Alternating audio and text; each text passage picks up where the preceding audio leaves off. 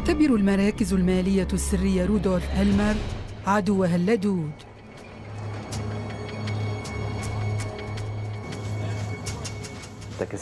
لن تصيب فقط عددا قليلا من الناس بل كافة البشرية وربما يؤثر أيضا على جيل ابنتي.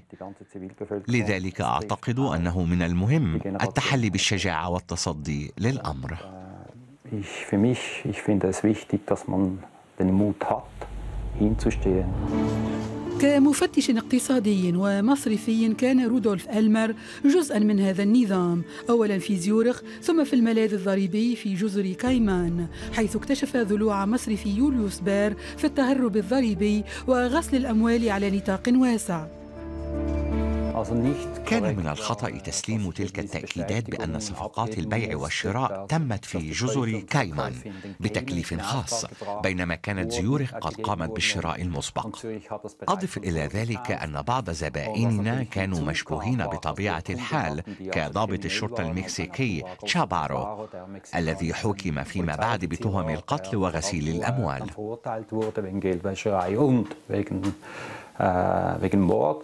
عندما طرح أسئلة على الإدارة نشب نزاع. مصرف يوليوس بير مارس عليه ضغوطا لكنه رد عليها بالمثل.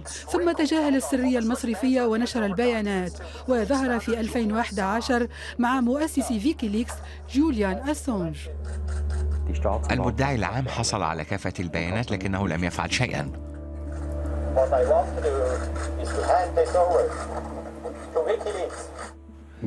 لكن تسريبات ويكيليكس أشهرت الأمر في العالم كله. هذه القضية أصبحت منذ عشر سنوات معركته الشخصية ضد نظام فائق القوة. الرأي العام هو وسيلته الوحيدة للضغط ففي سويسرا لم تكن هناك تبعات للبيانات التي كشف عنها.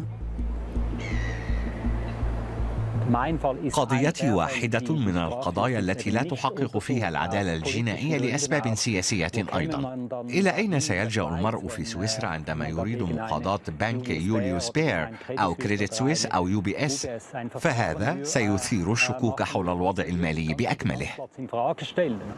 أتى الضغط من أمريكا بالخصوص. الأنشطة في الخارج التي تم الكشف عنها أثارت الشكوك بشأن السرية المصرفية في سويسرا. السبب الذي يدفع الإنسان لإدارة أمواله في سويسرا هو عدم كشف اسمه بسبب السرية المصرفية. وتلك السرية المصرفية كانت محمية بالقانون. وبالطبع عندما تظهر قائمة بالأسماء فهو بمثابة طلقة في قلب هذه المنظومة. دفع رودولف ألمر ثمنا باهظا لقاء تسريب المعلومات. 217 يوما في السجن وعدة أسابيع في مصحة للعلاج النفسي. وقد كانت أوقاتا عصيبة بالنسبة لابنته أيضا. سيكون رائعا لو تصل المعلومات إلى المجتمع بأن المحتالين والمتهربين من الضرائب هم لصوص أيضا. العقوبة الوحيدة التي قد تؤثر في المستقبل عندما يدخل المرء إلى السجن بسبب سرقة الدولة والأموال العامة. يقول رودولف إلمر إن المسؤولين والمجرمين يجلسون في المصارف في كل العالم وهذا ما يريد السويسري كشفه فهو لا يستطيع تغيير النظام.